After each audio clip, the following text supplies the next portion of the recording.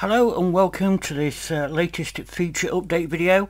For those that have been following the channel you know that every now and again I'll do an, a feature video based on the new additions and features added to various products. And today we're going to look at multi-track recorder and uh, a new addition to Lyricist. So let's start with multi-track recorder. Now the primary use for this was as a plugin within AUM uh, just to expand the audio recording capabilities. But the idea really was that it actually allows you to record uh, up to eight linear audio tracks. And you can use that for dropping samples in or just recording sections of a song. But a lot of people out there wanted looping capabilities. And so I added this remote feature now one good thing about uh, remote mode was it allowed you to select a um, loop as we've got here, turn loop mode on and then when you uh, pressed play in the host uh, DAW it would just cycle that loop until the host DAW stopped uh, its playback.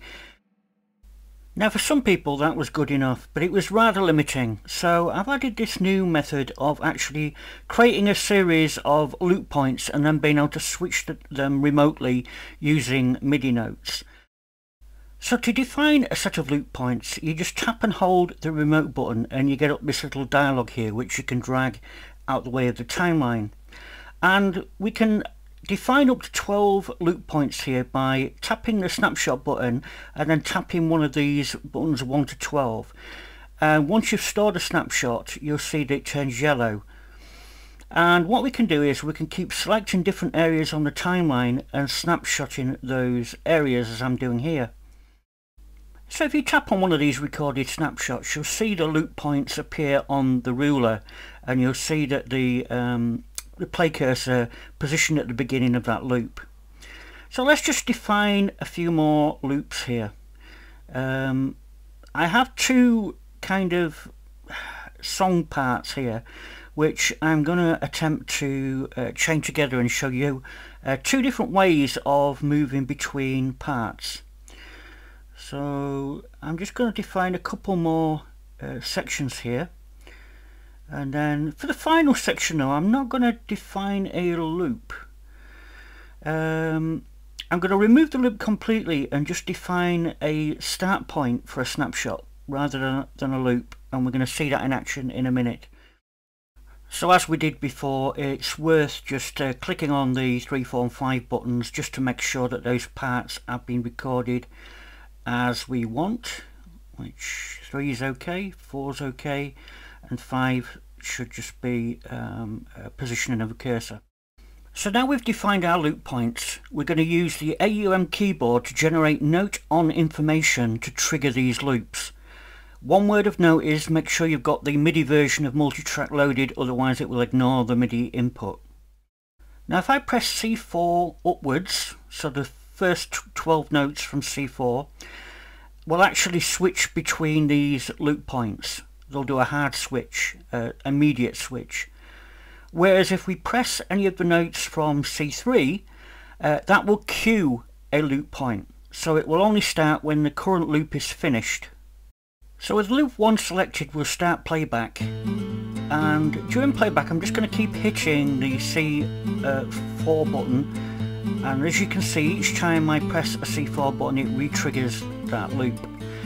But if I let it play it will literally hit the end of the loop and then go back round again. Now I'm going to schedule the second loop by hitting C sharp 3 and as you see uh, once that uh, first loop had finished the second loop jumped in. So if we press C3 before this uh, loop expires we can then jump back to the initial loop. Now this gives you an idea of how we can trigger loops via MIDI note information. Now that could be from your DAW, from your sequencer, from anything. So all you need to do is pass notes up front and you schedule the loops. Or because these loops are free running you can actually uh, trigger a loop to start immediately which could resync if everything went out of sync slightly. Okay, so let's have a look at this second example for which we had three loop points set up. Now I'm going to let this loop cycle once and then I'm going to schedule the next part of the loop which I can do by pressing uh, D sharp 3 and again once we hit the end of the loop uh, we should transition to the second piece which we do.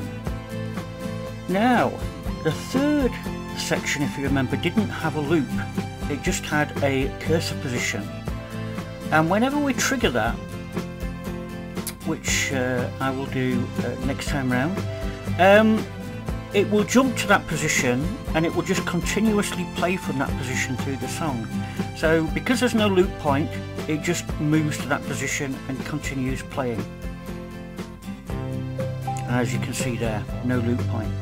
So when we hit the end of the song this is just going to stop. The cursor will keep going but the music will stop um, but that's great if you want to jump to a point within a song so you don't necessarily have to set up loops.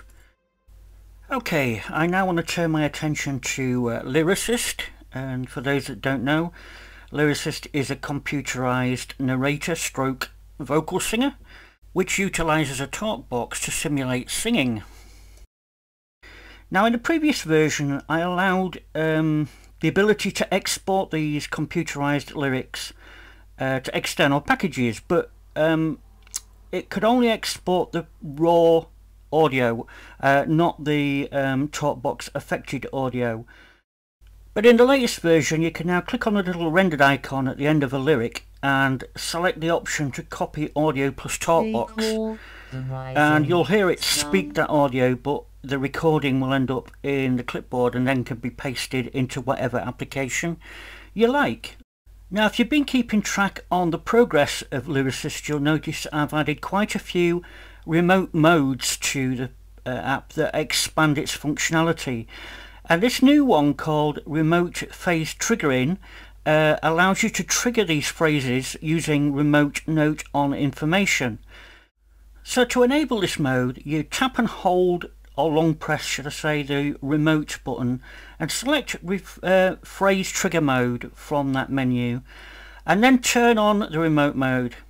Um, at this point it's listening for MIDI note information. Now the first 12 notes from C Naught will play back the phrases within the introduction. Uh, the second 12 notes um, after C1 will play the chorus and so on up the keyboard. So let's uh, press C1 and hear the first phrase of this chorus. There is a house in New And we can press the second key to start the second phrase. And we can even abruptly repeat phrases. The and its been the wind of manageable boy.